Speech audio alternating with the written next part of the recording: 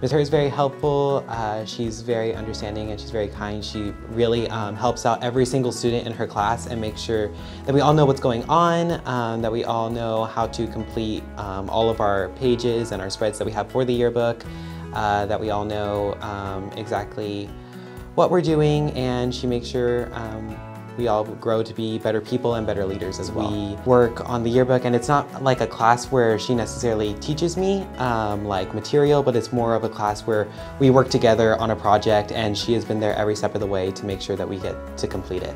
Thank you so much, Ms. Hert, for teaching me and helping me to become a better leader and a better person.